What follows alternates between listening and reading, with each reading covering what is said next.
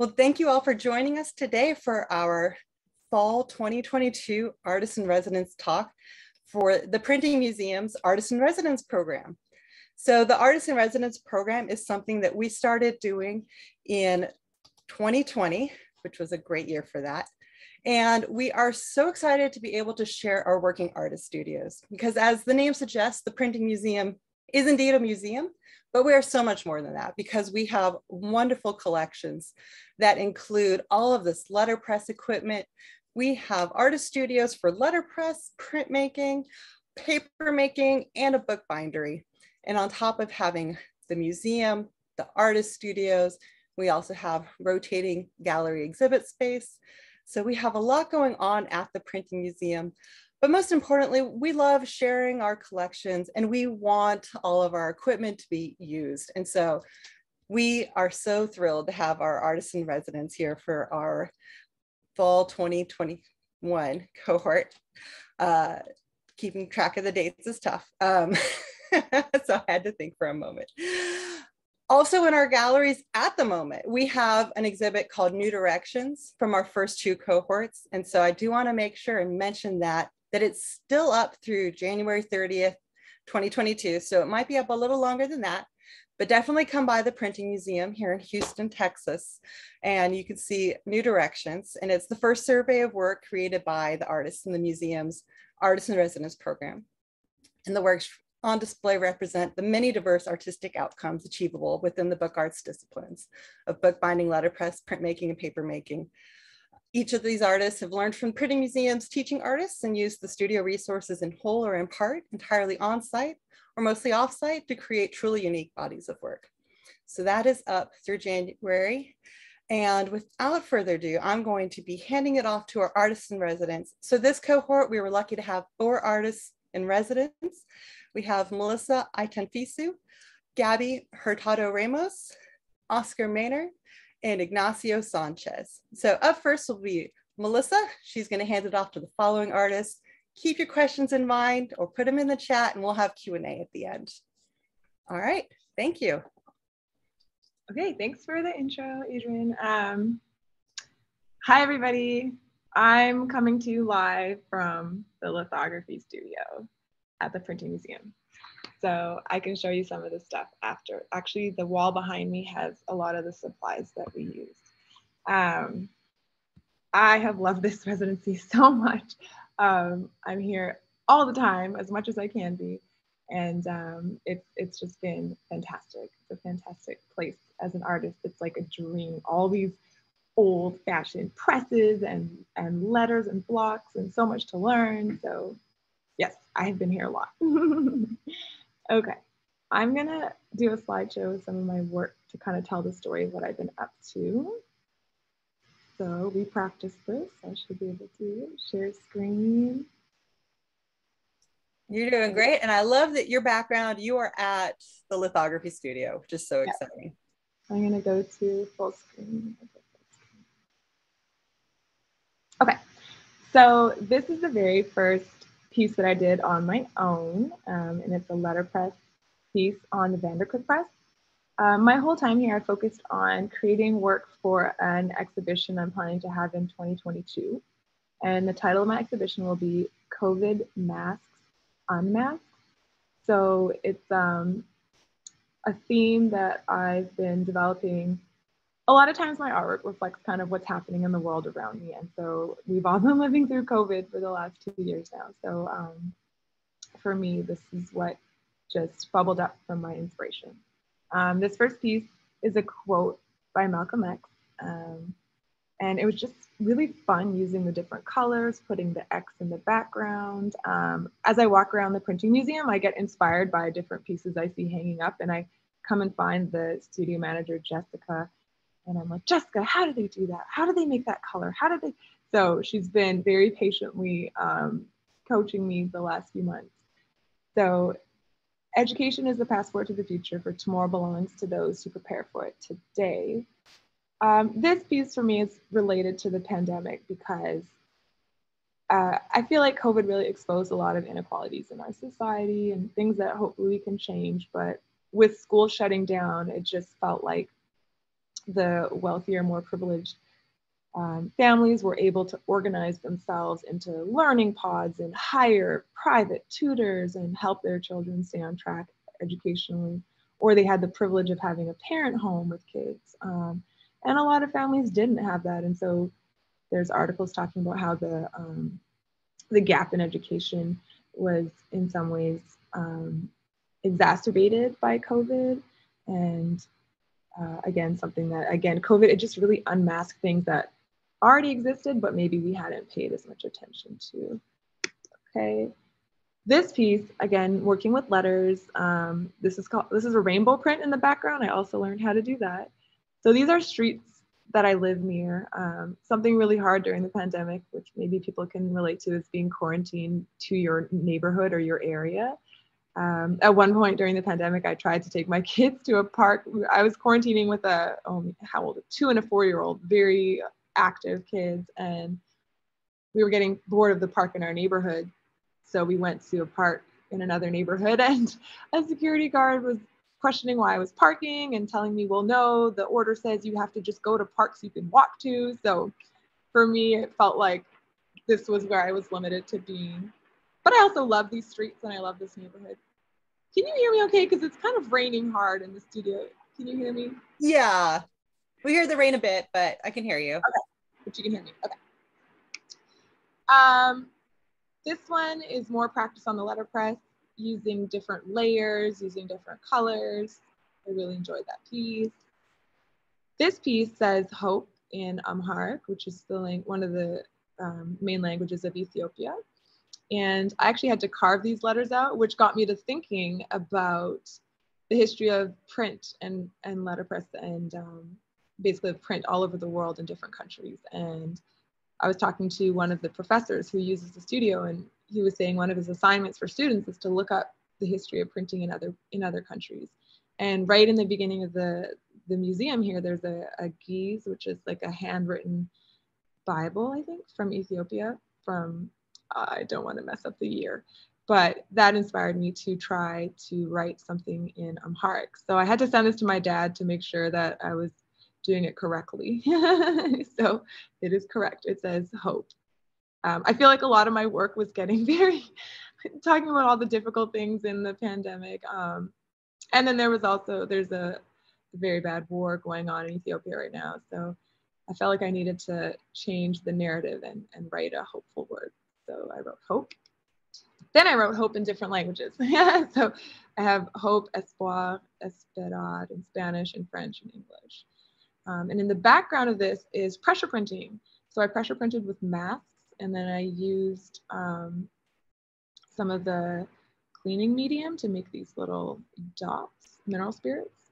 So this was me getting a little creative with the press. Um, again, seeing stuff around the gallery and thinking, oh, can I do that? Can I try that? Like, I want to try that. Um, this piece I'm going to title COVID Economics. And for a lot of the pandemic, I would like look up every and I've stopped doing it now, but I would look up every day the um, the numbers in Houston, and so you can see the first surge, the second surge, the third surge, and um, what I did is as the as the lines go downward, the lines kind of fall apart. Um, and to me, it was kind of saying how people under a certain socioeconomic status have been really a lot more impacted.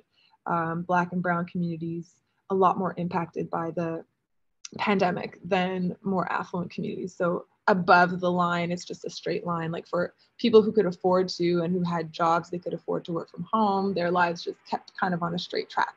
But the farther down you are in society, the more likely things were to fall apart, losing your job or or being sent to work because you're a first line worker driving a bus and you know, just affected families differently. Okay, the last thing I'm going to talk about is lithography. I got really into, um, I got lucky to help get the lithography studio up and running. So when I first uh, came to the museum, they had all the stuff here, the pieces were there, but just not all the supplies. And it just, there was we had to get it together and it's taken a few months and again thanks to jessica and me always knocking on the door can we order this please and can we order this and calling universities but we have now fully stocked the lithography studio for the first time in a few years um, since another artist, Charles Kreiner, used to do lithography here. And I got to make my first three lithography prints last week. And I'm so excited and I just want to make more, more, more, more, more. Um, this is my first stone. It's a limestone. So for those of you who don't know, with lithography, you draw on a limestone with um, uh, like a rubber um, greasy pencil with grease and then it's like a water repellent um, gum arabic is put on it this is actually the inspiration for my artwork this is near where i was born in alberta in canada on the prairies. I'm a prairie girl. And um, i couldn't go home during the pandemic for oh, 18 months. And i would check every day or every month. On the 21st of every month they would put out what the travel restrictions were. And they were just every month it would continue to be restricted between canada and the united states. And it was so hard. So this um, artwork for me is kind of like hope that it was finally broken so this is some of the um, prints that i pulled very first print uh, it worked out really well this is uh, my last photo i'm showing you this is in my neighborhood at emancipation park um, during COVID, my son playing chess with some older gentlemen at the park. So just like a day-to-day scene. I do a lot of um, images of my children in my artwork, like some other artists in the past have done, because that's who I'm always around. okay, um, I think that's it for me. Let me, how, how do I get out of this full screen? And I'm going to pass it on. Uh, let me get back here. Okay um, stop sharing. And I'm going to pass the mic to my partner, Gaby Hurtado. Hi, thank you so much, Melissa. Love seeing your work more. Um, and thank you everybody at the Printing Museum. It's been really awesome to be here for the past couple months. Um, I'm gonna go ahead and share my screen.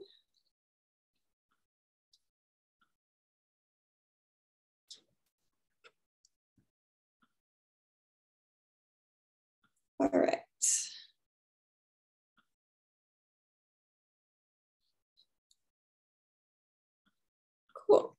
So while I was printing here at the Printing Museum, I focused on a project um, making a zine called Let's Get Acquainted. Um, it was, it's a small publication that I made on the risograph and it's part of a series exploring historic lesbian bars of Houston. Oops. There we go. Um, so here's a close-up of the inside of the pages. And like I said, it was printed on the risograph, which is a printer that's kind of like a copy machine and kind of like a screen printing process where each color is one layer and you can get these super bright colors and you can also get this kind of grainy texture that makes gray values. So I focused my project on lesbian bars in Houston because as someone who recently moved back and is from Houston, I've always known that Montrose and Houston in general has a long history of being like a meeting place and having a vibrant LGBTQ community, especially around the bar scene. But I felt a little disconnected from where is that or what is happening now or what was it like before. So I wanted to look more into that. And I wanted to focus on bars because they while they are only a portion of the queer community, they are very important meeting spaces for people, especially before the present time, may have not been able to be out in all of parts of their lives. So the bar was a very important spot to meet other gay and queer people. So in this project, I also chose to focus on women's bars, or usually what they're they're called lesbian bars, because gay bars can be very centered around men and being a man focused space. And there weren't as many lesbian bars around in Houston or in most cities in the US. Um, And so sometimes there were spaces that like you could see in this poster that were like separated or there might have be a night that's like focused for women but and it's not like gay bars weren't welcoming of everybody but there definitely was a particular clientele and a particular group of people who would frequent the male focused bars another reason that i wanted to focus on women's bars was because they have been closing a lot lesbian bars have been closing um, into the present day, I think there's only like a handful left in the US, and there's only two, I think, in Texas. One that's still open here in Houston is Pearl Bar. So I just wanted to know more about where, how many lesbian bars existed in Houston and where were they, when did they exist? So I found this website that's a really awesome archive called HoustonLGBTQHistory.org. It's part of the JD Doyle Archives.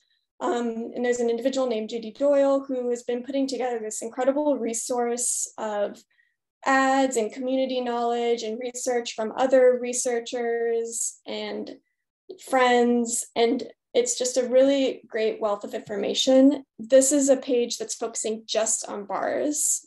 You can see a list of the different titles. Each of those is a hyperlink, and I would just like go in there and find a bunch of information on all of them and find out like okay where are the lesbian bars because most of these were catered towards gay men oh yeah and thanks adrian for sharing that site all right so here is a cover of a small publication called this week in texas this is an example of the primary source material you could find on the J.D. Doyle archives. And it was a very important publication out of many where queer people could find what events were happening, what bars were in their city. And this publication in particular, it was weekly. It was, I have one here, it was like this size, and you could find them in different places, share them with people, and find out like where to meet your community. Here's another cover. Most of them had gay men on the covers. There are very few with women, but I tried to find some of them. And here's an example of some ads that you might find inside. So I was looking, prior to doing this zine and print project, I was looking at these ads and just spending a lot of time like getting to know what bar was where, what would the bar be like since I can't go back in time and go inside. I wanted to see like what kind of vibes were in each one, what kind of clientele or audience were they trying to attract, what kind of events were happening. You can see um, at on the right, Mistake Two advertises live amateur female wrestling, which I thought was pretty funny.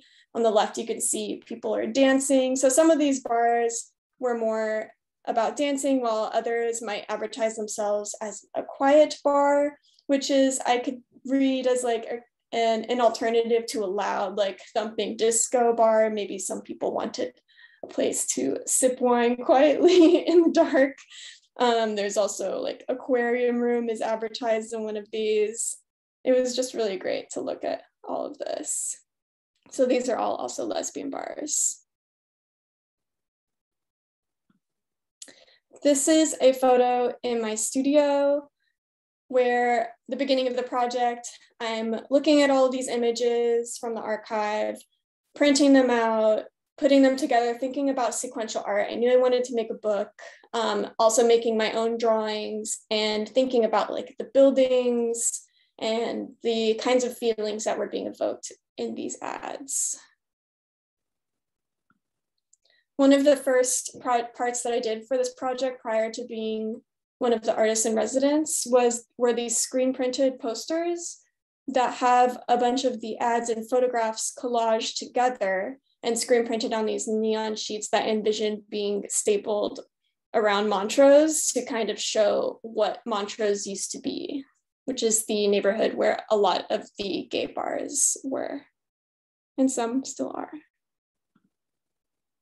So like I said, I decided to use the risograph printer to make my zine. This is an example of how the inks look.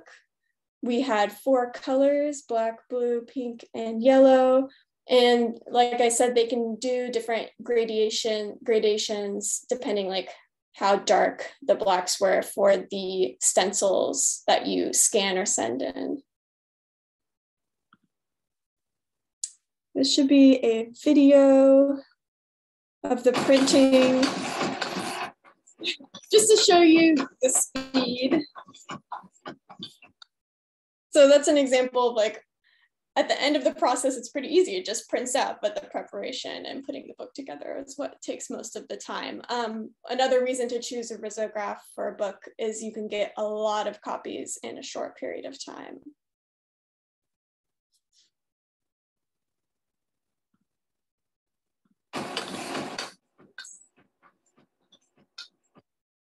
So here's a picture of the pages once they were printed. I had them, I trimmed them and collated them, printed them full bleed. So I got those like really bright colors. Here are some test prints I did for the covers. As you can see, when you use a risograph, you there's a drawing that is what I'm calling the stencil, but I could try out different colors and see how it, they looked together. So this is me looking at different combinations. This is the final where I just added a third color, blue, and it turns like this nice purple when it's overlaid on the pink that I really like.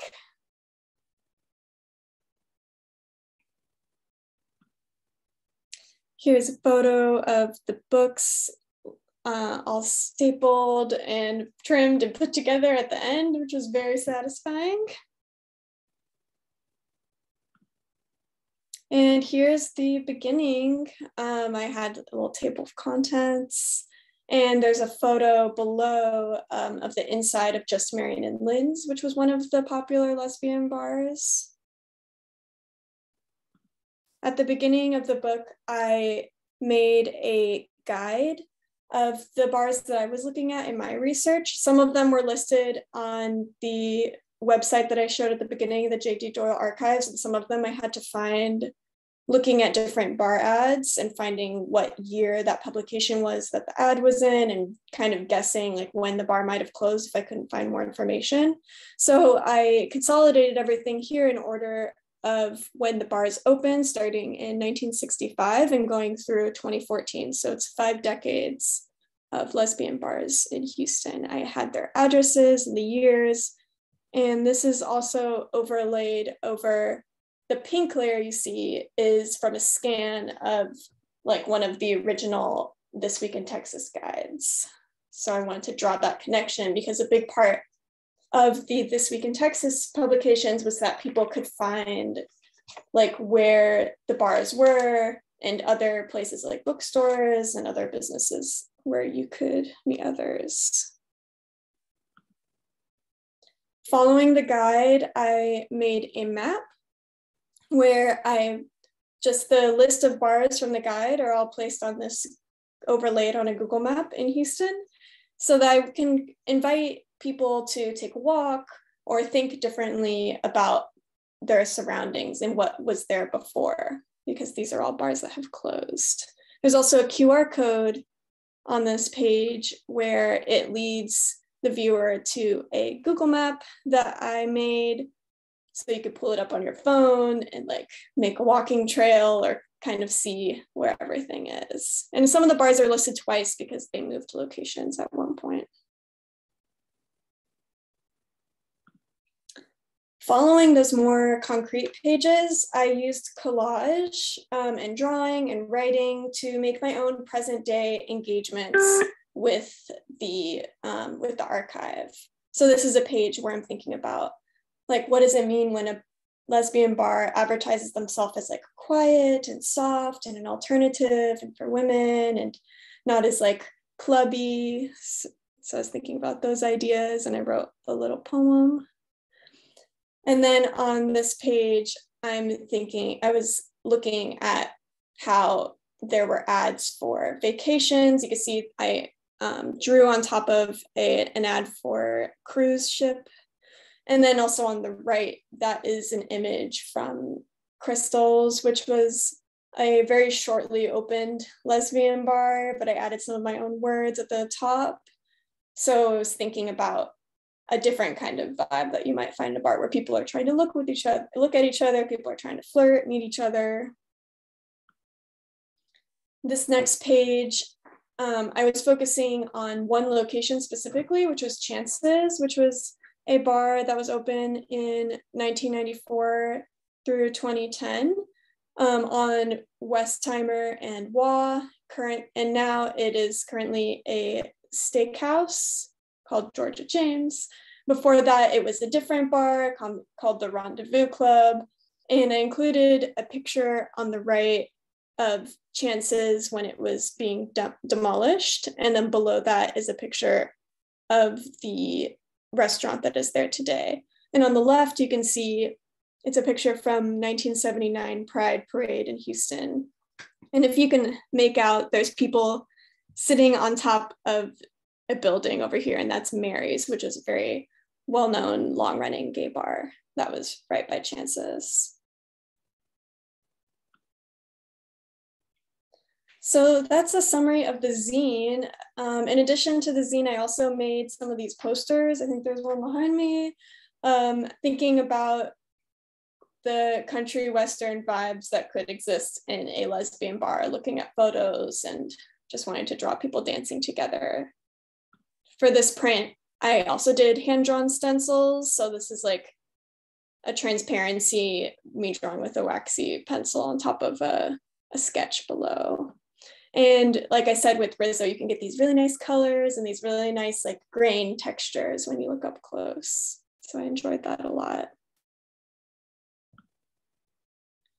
And lastly, at the end of this whole project, I made this poster that I imagine as like a takeaway broadside, a poster that people can keep or put up in different places that has again the guide that I have and the zine of the lesbian bars that have since closed in Houston, along with a couple collaged images, one of a map of Houston with different gay bar listings. And then another below is a photo inside it, cropped that you probably saw before in the zine inside Marion and Lynn's. And Marion and Lynn's was a bar that was also open, a longer running lesbian bar that was open from 73 to 87.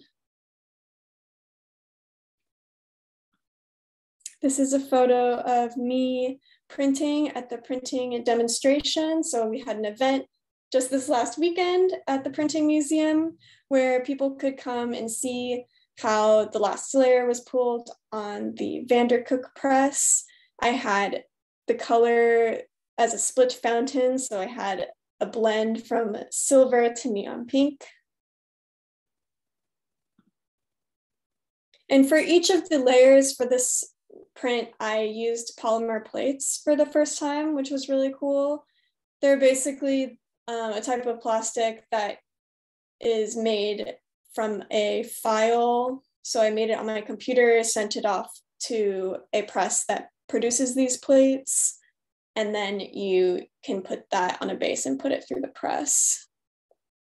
So it's its own relief process. I did that along with some metal type too. Here's a photo of the plate when it's all like inked up with a bright pink here's an image of another layer I did on the top that says the guide. And I, I did another rainbow roll for that one, um, bright neon pink to bright blue. And here's the original um, piece of information that I used to make that map of Gay Houston from an older publication. And this is what it looks like as a plate. So you lose some detail but you also get this boldness as if it were a type. That's the print after. It's going from silver to neon pink. And there's a close up that I really like um, from the photo in Marion and Lynn's. And to make that gray, again, like the solar plate has these little tiny specks similar to the risograph that make these nice gray tones. That is the end of my talk. Thank you so much for tuning in. And this is a little sneak peek of another print that I want to make sometime this week for a little card. But thank you so much. I'm going to stop my screen sharing and pass the mic to Oscar. Thanks, Gaby. Um, let me get to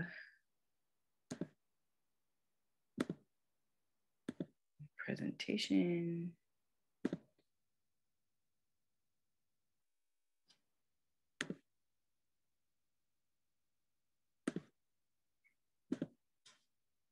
Okay. So I go by Oscar. I use they, them pronouns. Um, and I am actually a letterpress printer. Um, the press is very much my medicine, and it's kind of where I pray, and it's where I make the medicine that I make for my community, for whoever finds it resonant. Um, I started Tender Heart Press um, December 31st in 2016 in Oakland. Um, I was working out of Kala Art Institute at that time. And so New Year's Eve is my press anniversary. I spend every New Year's Eve at the press, which is irritating to some of my partners, but they make room for it. Um, so I moved away from the Bay Area and I moved to Santa Fe, uh, New Mexico, and then northern New Mexico. And I had no access to the press. So I would end up driving six hours to Silver City, New Mexico, to Power and Light Press, which is owned by Kyle Durrie, who's um, a lovely and generous human, um, who would let me work in her shop. And so I would go and have little printmaking staycations there. And I made this paper cut. This is the drawing for the paper cut to um, to call a press into my life. So it is a, a prayer for my own press, which I do now have. Um, this is Power and Light. Uh, that little challenge press down there on the floor is the one that I was always working on. And I would just haul in all of my type and bakery boxes and set them up on these um, tables and, and do um, what I do. So being at the printing museum has been such a gift um, to have an entire five weeks to just be on press and think through things and come back to this thing that I um, that I love so much. Uh, I'm going to talk a little bit about how I have worked in the past and then some of the things that I did when I was at the museum. So I make layered posters and I'm I'm borrowing this style from Amos P. Kennedy. Uh, he is my mentor and a huge inspiration. Um, his work drew me into letterpress actually. And there's a documentary about him called Proceed and Be Bold, which I highly recommend. Um, and this color block technique that you see in the background of this poster is, is his. Um, and it's basically created using a piece of melamine board. So like shelving from the hardware store that you cut down to a certain size, make type high, and then run through the press to get this solid block of color. Um, and then I would layer text on top of that. So that's three layers this is what would be the key block um, if you were like a woodcut artist. And then that's all of the layers together. And most of what I make, I write myself. Um, and so these are very much spells and prayers and calling in um, what's possible. It's a place where imagination is pretty central. Okay.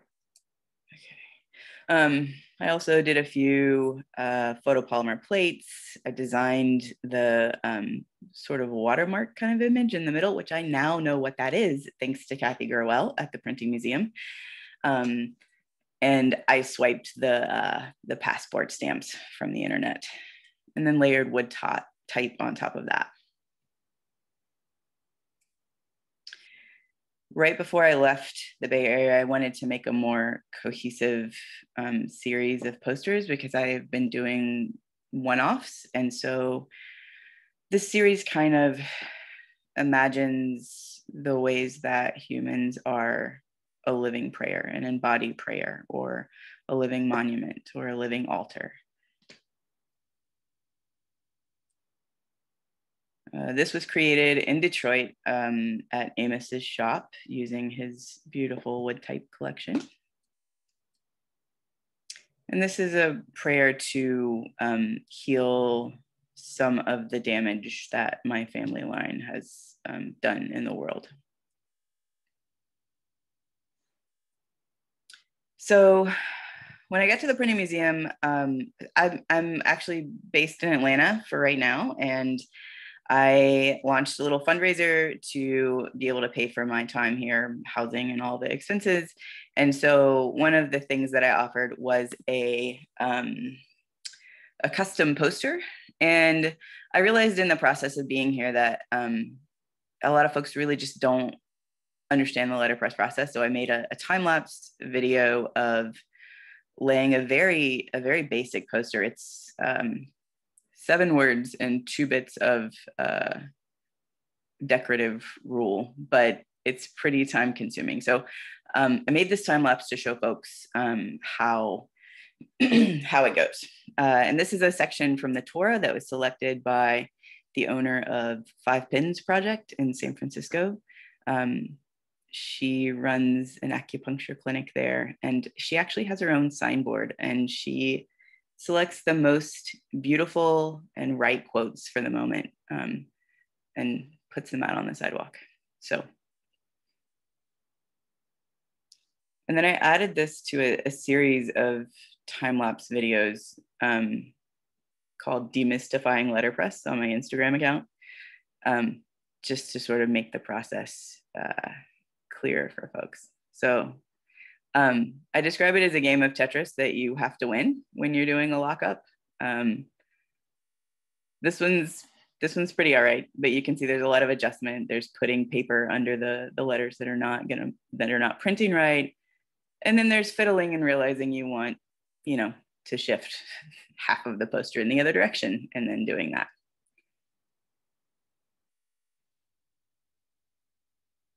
And then that's the finished piece. Um, I got to go through all of the uh, cuts and found this lovely little lawn chair and made a um, one of the other perks for the fundraiser with a, a postcard. Um, I am from the South. Uh, I grew up in South Carolina, lived in Georgia for a while, but uh, Houston is next level. Y'all's mosquitoes are still on 10. Um, it is, it is still summer down here, which is great. I love summer.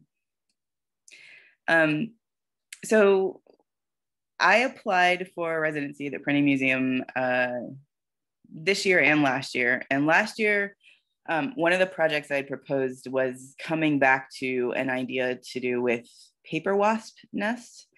Um, and so when my letterpress brain is working, um, it's sort of this lens through which I can see almost everything. And I know it's really going when I drive down the street and all I notice is the typeface on all of the signs and the billboards. Um, and so this letterpress lens brought me to these paper wasps, and I realized they're actually making paper. They're doing um, what we do. They they go to the wood and chew the pulp, and then craft um, these hexagon shapes that they you know live in or put eggs in, and then also the exterior, which is this beautiful papery, newsprinty kind of um, uh, shell. And so a couple years ago, I made a first run.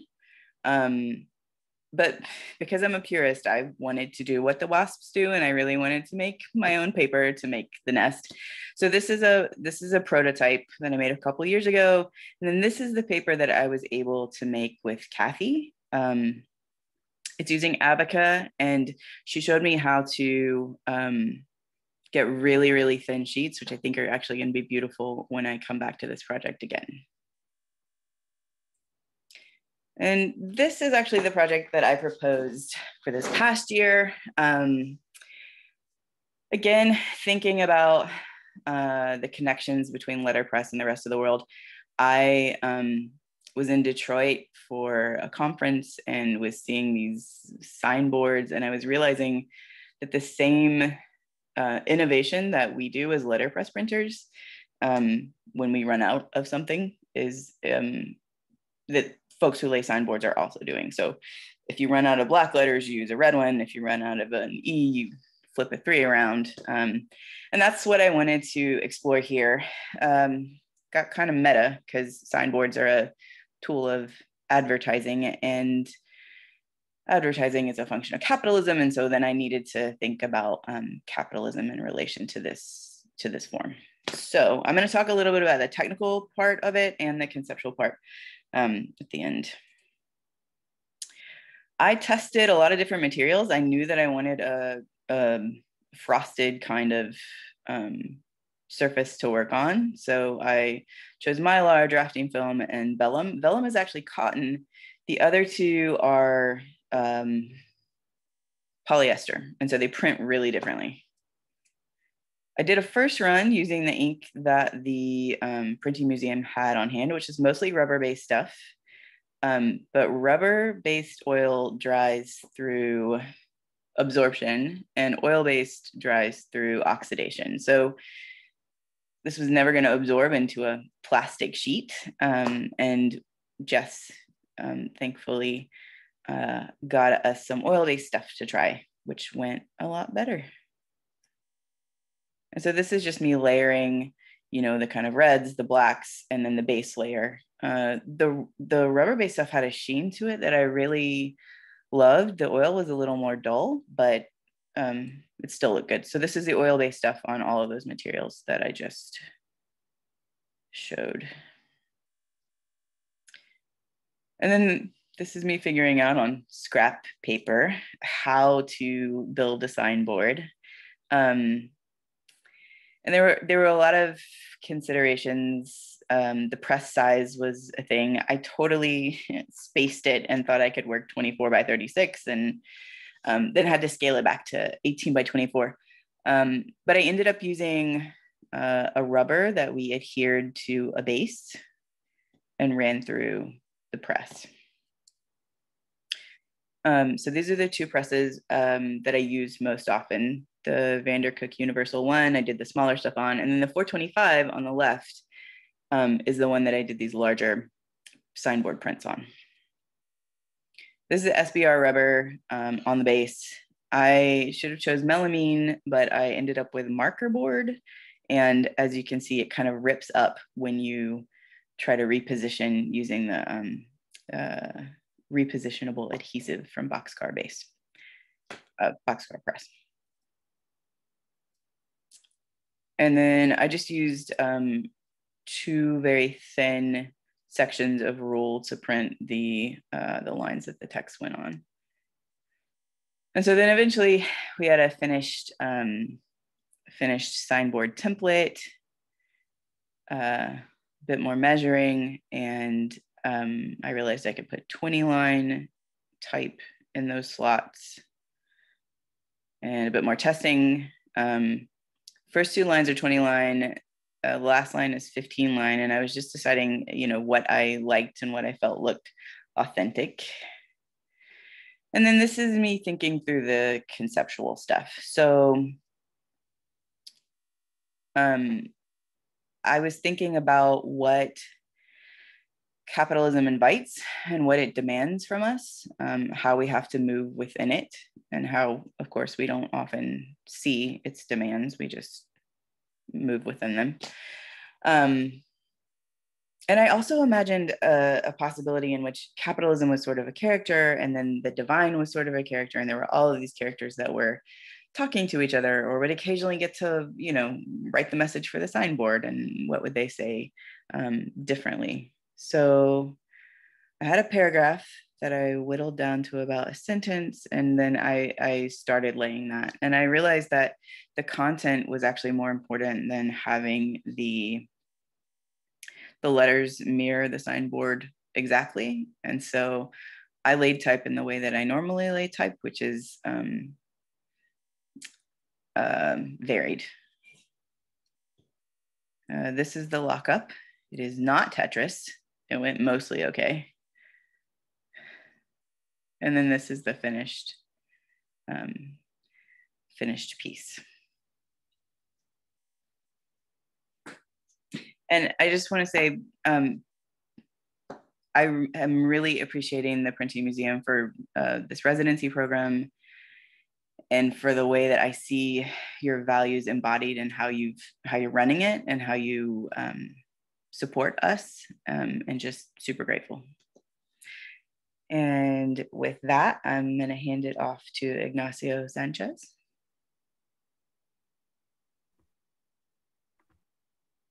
Hi, good afternoon, everybody. Uh, I'm happy to be here and I really appreciate the residency that I took with uh, the Printing Museum and I greatly appreciate it. Oops, it's kind of greasy. All right, sharing my screen here. Okay, I'm gonna start with a brief introduction and then I'll go into the work that I've started with the uh, with the Printing Museum. So my name's Ignacio Loy Sanchez. Uh, I go by Nacho and I'm a Mexican American artist that uh, that's recognized by the colors and patterns and repetition that I do in my work. Um, I like to experiment with large scale murals, paintings, and uh, now paper making. I've used uh, pastels, acrylics, oil bars, and uh, mostly aeros aerosol paint in my works. Um, I've also uh, had the opportunity to work with uh, carpentry over at the uh, wood shop at the University of Houston. Um, in the recent years, I've been able to travel to Mexico and South America, which I've had the opportunity to uh, get influenced by a lot of the colors that, that uh, are in the textiles in uh, the Latin American culture. Um, you know, so I really love working with uh, different shapes, colors, and uh, textures in my work. Um, I currently reside in the historical uh, Third Ward, which is not too far from where I'm working at. Um, so it's, uh, you know, by the University of Houston and uh, TSU area. Um, you know, I've also had the opportunity to, to teach some youth art classes in the undeserved, under, uh, um, I apologize, undeserved neighborhoods of, uh, of Houston. And uh, so I recently received a bachelor of, bachelor's in arts uh, from the University of Houston to be able to further develop my, uh, my processes. And my latest exhibitions are uh, currently at, um, well, in the past, at um, the Holocaust Museum through the Smithsonian Traveling Exhibition for the Dolores Huerta uh, show, uh, Revolution in the Fields. And I've also had the opportunity to show at the, uh, at the Station Museum, which is currently up, um, which took place uh, last year, last summer. And uh, if you have a chance, an opportunity to go by, it's by um, HCC Central across the street from uh, Axelrad um, off of Alabama. And uh, here's my work for the uh, Printing Museum. I really enjoyed the fact that uh, you guys chose me for this uh, residency. are some of the previous works that I've had the opportunity to work with before getting to the Printing Museum. I, um, I've used uh, various found papers, and uh, newspapers and uh, basically made a big mush and created my own paper. And uh, here's another piece that I've had the opportunity to work on. Um, and for the first portion of the project, I, um, I was able to collect um, many newspapers from, uh, from relatives that traveled to Mexico. So I, um, I kind of just mashed those up, uh, emulsify them in a blender, and I've also put them together with uh, like various Amazon boxes that I often get in the mail, and I've been uh, I've been uh, repurposing them to make my art. So here's a, a view of me at home teaching a workshop uh, with a few of my friends. Uh, be sure to share your screen. If you're sharing it, we aren't able to see it yet. Oh no. okay. We wouldn't want to miss out on that. okay. I uh Okay. There we go. Have you, wait. Oh. Once, once more. Okay, so I totally messed that one up. No, you're fine. we aren't seeing it yet, but I'll just give you a minute to get that going. Oh my God. And so as a reminder, while you work on that to everybody, if you have questions, we'll have Q&A at the end. And then after that, you know, we'll stop recording it so that everybody, we can all um, informally chat. Perfect. You got it going, Ignacio. I will hand it back to you. Okay, so let me just go ahead and uh, let you see some of my work. So here's the uh, Holocaust Museum pieces. And here is the, uh, you can still see my screen, right? Yes. Uh, Okay. Yes, perfect. Here is the uh, piece at the Station Museum that's currently up and you can go ahead and take a look at that. And then uh, here's some of the work that I started before um, being at the Printing Museum. And here's another piece that I really love. And uh, here's a photo of me working at home, uh, teaching a workshop with a few of my friends, uh, using a blender and uh, using various uh, flowers and uh, found plants at home to press in between the papers, which I find that it's really interesting to get all these different textures in it. Um, yep. And here is a some of the pieces that I've worked on with the collected newspapers that my relatives were able to bring from uh, various parts of Mexico. And that's a mixture of newspapers, uh, flowers, and um, paper boxes from Amazon. And um, also here is uh, a photo of me working with uh, Kathy. She uh, she showed me a lot of great techniques over there with the deco and the uh, Abaca paper. Um, so basically, my project is rooted rooted with uh, in identity, and uh, I really wanted to play with that aspect just because uh, my my father was born in Mexico and my mother was born in the United States, and often you know you you're not really categorized as being a Mexican or being an American. So I figured that that that would really um, you know uh, interest many people. Um, so I really wanted to build off on that idea. And uh, here's one of the uh, papers that I had the opportunity to press at home. I uh, to get it nice and flat, I use my own cardboard, and I find it that it um, it creates a great texture to paint on, and I really love the speckles and uh, and the plant matter that it creates in between the the paper. And here are some of the finished pieces that I had had finished with uh, with a mixture of the Abaca paper that I uh, learned to make with with Kathy and some of the newspaper uh, uh, pieces that I was able to put together. So the concept was to basically make find the newspaper, make the paper, and um, let it dry. And uh, after it was finished drying, finishing drying, I was um, tearing it up, and then I would go and uh, paint it and collage it back together.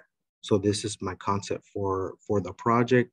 I feel that it's going to be an ongoing project for um, for the coming year, just because I want to be able to practice it and uh, define my work a little bit more.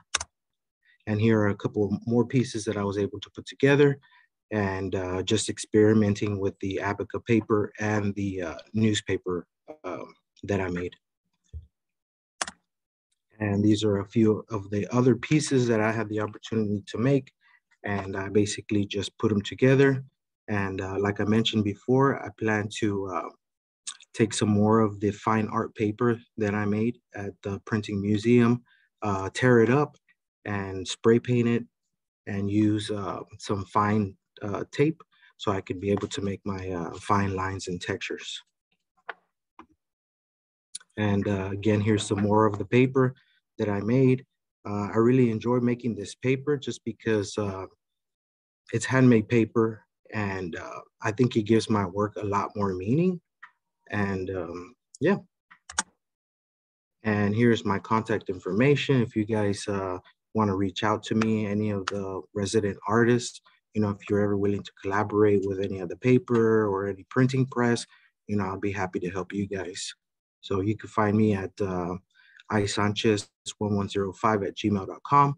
And my website is www.elartedenacho.com. And my Instagram is uh, at elnacho1105.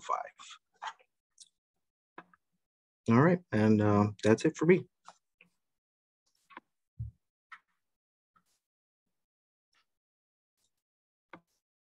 Thank you so much.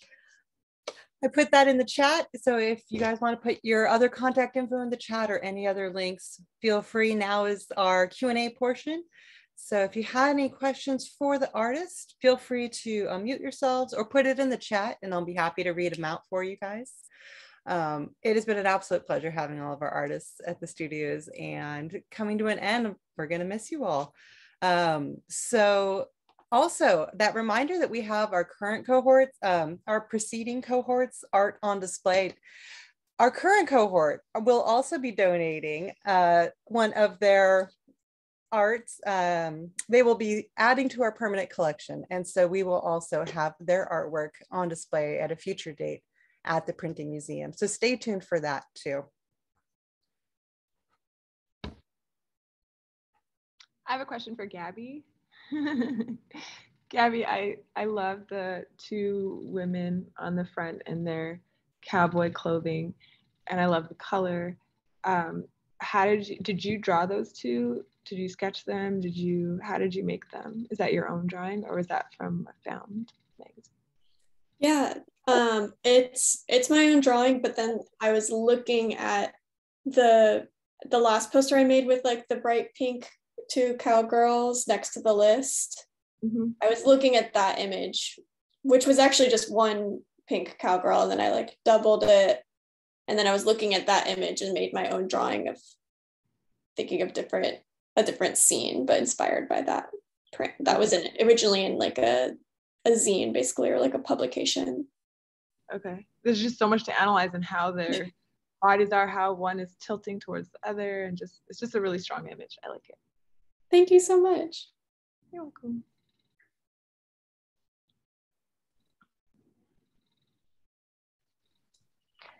I have a question for Ignacio. Um, Ignacio, can you talk a little bit about um, how you choose your patterns to represent identity? You're you were talking about that, um, thinking about those ideas of where your identity with your American born mom and your Mexican born dad. And I was wondering how that influenced your, your patterns in particular. Yeah, absolutely. So I really like to do some research um, on the different textiles that, that people wear um, as far as the dresses and uh, the architecture.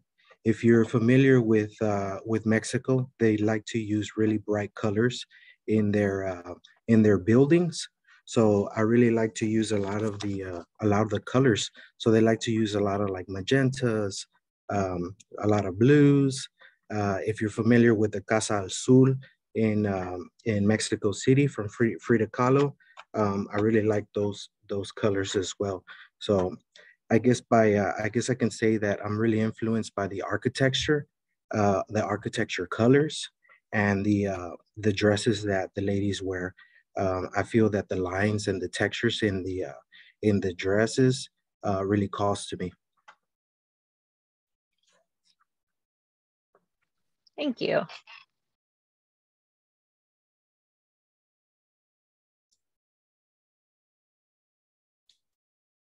And uh, really appreciated too, Gaby and Melissa. You both explained some of those artistic methods. You, I mean, you all did on the paper making, but especially for me, risograph and lithography are some of those um, like photography, those more magical kind of like it comes together. Um, so I really appreciated you sharing that um, those processes with us too, for those of us that aren't familiar with them.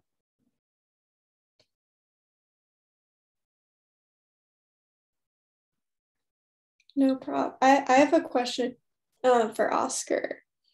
If um I want to, do you have more to share about your choice with using that acetate, or I don't know if that's what it, the transparent paper that you printed your um that letterpress print on?